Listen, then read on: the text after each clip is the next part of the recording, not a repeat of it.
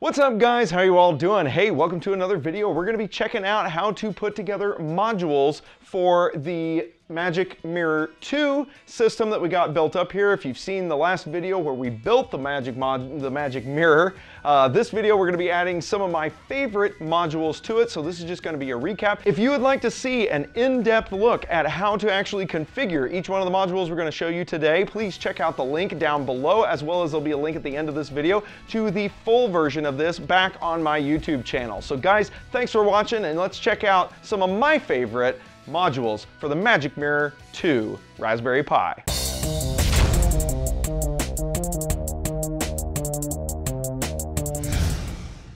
Start our list, at number 6 is the Weather Module. Using data from Open Weather Map, this handy gadget will display your current location's weather information, as well as local weather forecast. This service is free to use and comes standard with your Magic Mirror install. All you gotta do is just go to openweathermap.com, set up your free account, and you are off and running. Number 5. If you need a reminder of where you are supposed to be, then never fear, the calendar module has you covered. You can integrate your own Google Calendar and be reminded of all your tasks you have ahead. Number 4. Find yourself not having time to get your latest Reddit post information? With the Reddit module, you can see your favorite subreddits as it will periodically scroll through all the recent posts. This comes in handy for me to catch up to what is going on in the maker community and gives me good ideas for additional videos. Number 3.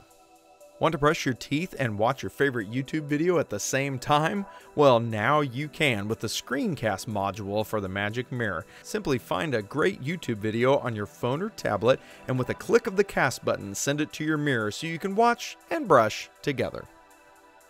Number 2.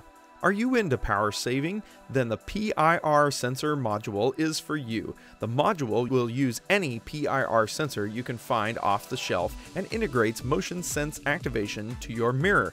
The timeout for screen power save is configurable so as to save you energy as well as ensure the longest life for your screen.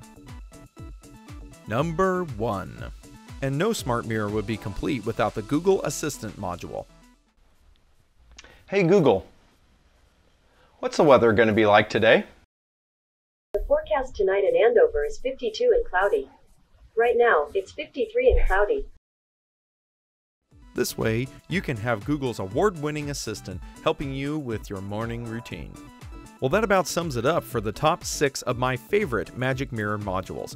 If you want to see more on how to build each one of these modules into your very own Magic Mirror, please check out the video link below to the full how-to on setup of all six of these great modules.